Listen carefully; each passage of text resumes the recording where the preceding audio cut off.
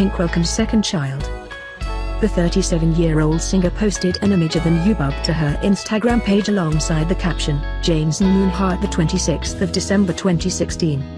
Jameson, who is wrapped up tightly in a blanket in his mother's arms in the snap, is Pink's second child with her husband, former motocross racer, Carey Hart.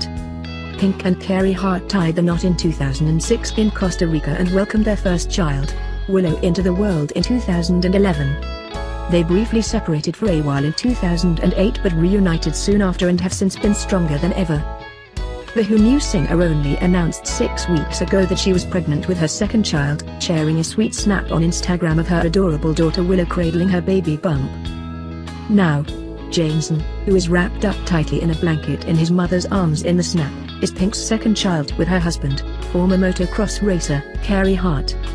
And while it may seem like an unusual name choice, it appears that the singer has had the name in minutes since 2010. 10.